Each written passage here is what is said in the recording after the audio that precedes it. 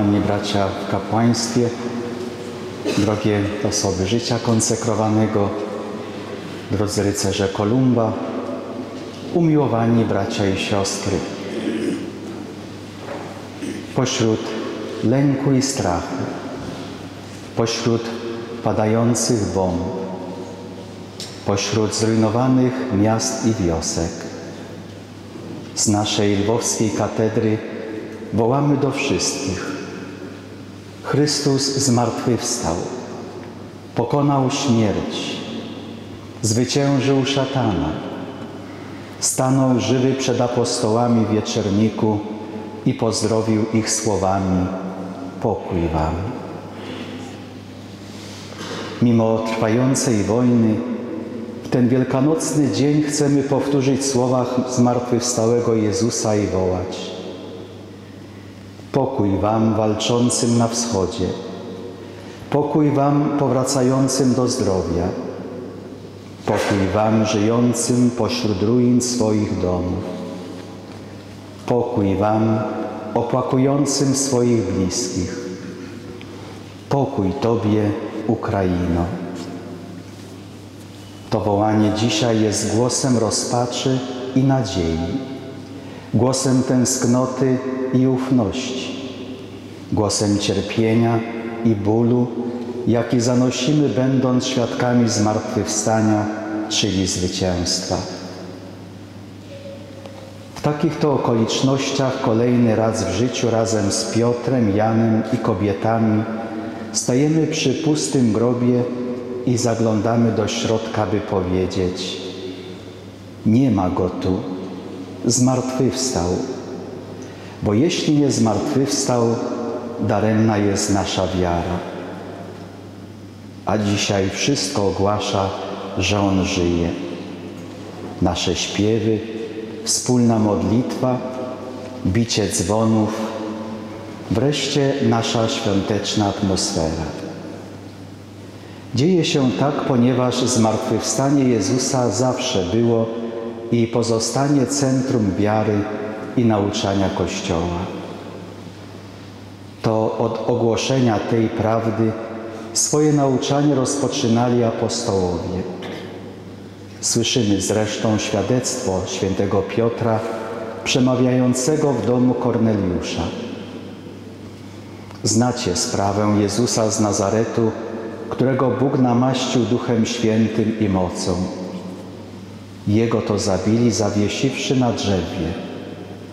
Bóg wskrzesił go dnia trzeciego i pozwolił mu ukazać się nie całemu ludowi, ale nam, wybranym uprzednio przez Boga na świadków, którzy z Nim jedliśmy i piliśmy po Jego zmartwychwstaniu.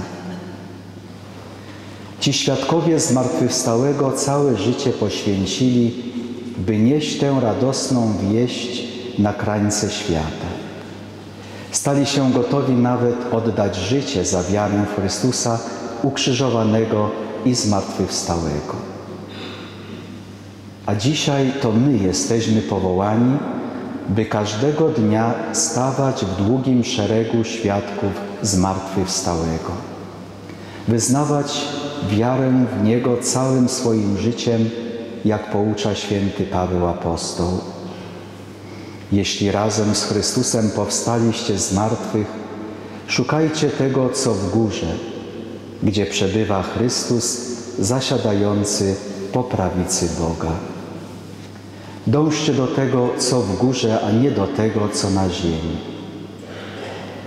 To jest właśnie prawdziwy sens wiary i nawrócenia chrześcijańskiego, czyli wybrania Chrystusa, wędrowania z Nim, głoszenia Go i trwania przy Nim. Oderwać się od tego, co sprowadza śmierć, porzucić grzech, by mieć udział w Chrystusowym zmartwychwstaniu. W tajemnicy Jego śmierci i zmartwychwstania uczy papież Benedykt XVI, Bóg objawił pełnię miłości, która zbawia i wzywa ludzi do nawrócenia i przemiany życia poprzez odpuszczenie grzechów.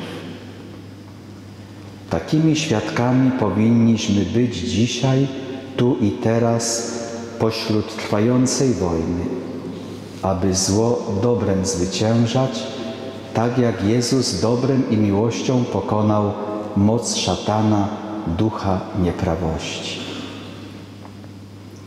Дорогі брати і сестри, бути християнином означає вірити, що Христос Воскрес.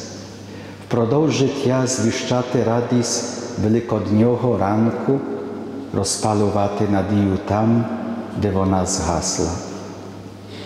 В Україні є багато таких місць, де потрібно нести надію Воскресіння і роз'яснювати морок війни. Маємо робити це ми, ті, які живемо в тій частині країни, де є безпечно, де не падають бомби, де не ходимо поміж руїнами будинків та вирвами від ракет. Це саме нас закликає Христос прийняти від Нього і передавати іншим надію, радість і мир.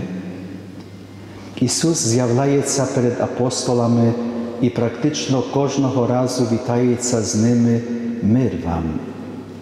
Старожитні греки віталися між собою хайре, тобто радій. Випливало це з їхнього народного способу буття, сконцентрованого на забаві, театрі і олімпіадах.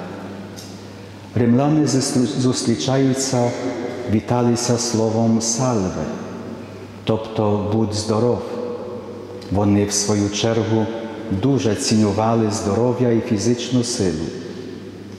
Євреї, як свідчить Святе Письмо, віталися словами шалом, тобто мир, мир тобі. Це привітання доволі швидко розповсюдилося і закорінилося. Після Воскресіння Ісус, коли з'явився своїм учням, теж звернувся до них зі словами мир вам. Апостоли дуже потребували миру, бо перестрашені перебували за зачинними дверима, боячись, щоб їх, як учнів розп'ятого, не арештували. Першою їхньою реакцією після з'явлення Воскреслого були побоювання і страх, адже думали, що бачать Мариво, Мариво. Христові слова мир вам несли апостолам запевнення. Будьте спокійні, я вам усе пробачу і забув. Розраховую, що приймете від мене місію, щоб іти і проголошувати іншим народам про моє Воскресіння. Цього теж очікує Ісус від нас. Понад дві тисячі років ця правда уособлюється і живе у церкві, на ній опирається і триває. Цього очікує від нас Ісус у часі, коли руйнуються людські відносини, бо саме там має лунати мир вам. Святий Йоанн Павло II заохочував стерегти і жити фундаментальними нормами життя, пов'язаними зі збереженням миру. Він навчав, стремління до миру є притаманним людській природі і виображається в різних релігіях, виражається в прагненні ладу і спокою, готовності служити ближньому у співпраці і спільних діях, які базуються на взаємної повазі. Але ці якості, що випливають із натурального права і проголошувані релігіями, можуть відрізнятися, тому потрібні солідні зусилля всіх політиків, людей, які очолюють міжнародні організації, підприємців і працівників організованих суспільних груп і кожної людини, зокрема. Всі мають цей обов'язок. Він особливо стосується віруючих, адже свідчення і дії, скеровані до осягнення миру, а також молитва про мир, підтверджують релігійну поставу людини. Umiłowani w Chrystusie, uroczystość zmartwychwstania jest najlepszą okazją dla nas, abyśmy byli świadkami pokoju, bez którego nie będzie jedności w rodzinie, ojczyźnie i świecie.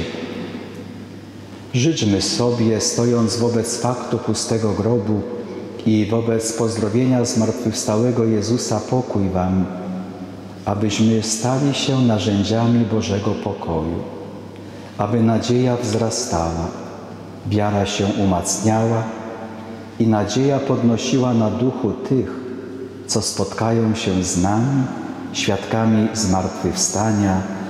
Amen.